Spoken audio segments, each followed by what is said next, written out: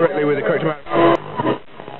It was actually never even on the foresight on the grid to even do music and poetry together um, until I met Vernon and Richard, and and uh, and so the ideas were tossed out there, and at first it was kind of like oh, I'm not sure about that because I heard poetry and hip hop tracks put together, and it was okay. You know what I mean? It wasn't anything. It was almost like the hip hop track kind of, you know, uh, overpowered the spoken word. You know, and so it was just like, oh, whatever, okay. But you know, I think the uh, the connection that we had more than anything.